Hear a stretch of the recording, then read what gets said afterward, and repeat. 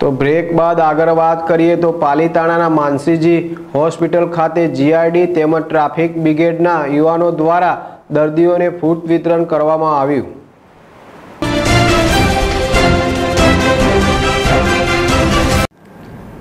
પવિત્ર શ્રાવણ માસમાં દાન અનેરો મહિમા છે.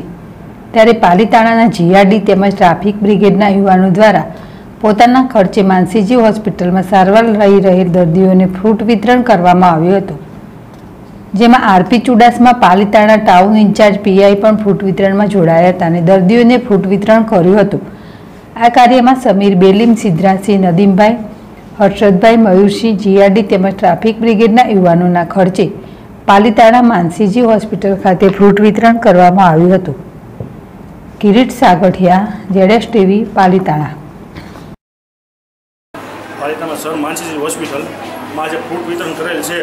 એમાં શ્રાવણ માસ દરમિયાન ડીવાયએસપી સાહેબ ઝાલા સાહેબ તથા પીઆઈ ચુડાસમા સાહેબ સાથે પાલિતાના સર માનસીજી હોસ્પિટલમાં ફૂડ વિતરણ કરેલ છે. જેમાં ટ્રાફિક બ્રિગેડ પણ અમારી સાથે જોડાયેલી છે. કેટલા કેટલા દર્દીઓને ફૂટ વિતરણ કર્યું? સાઠ દર્દીને અહીંયા ફૂડ વિતરણ કરેલું છે.